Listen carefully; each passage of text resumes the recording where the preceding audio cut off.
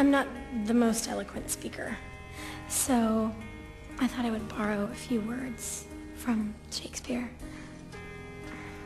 Love is not love, which alters when it alteration finds. When life gets hard, when things change, true love remains the same. I look at Nathan and Haley and somehow I feel safer.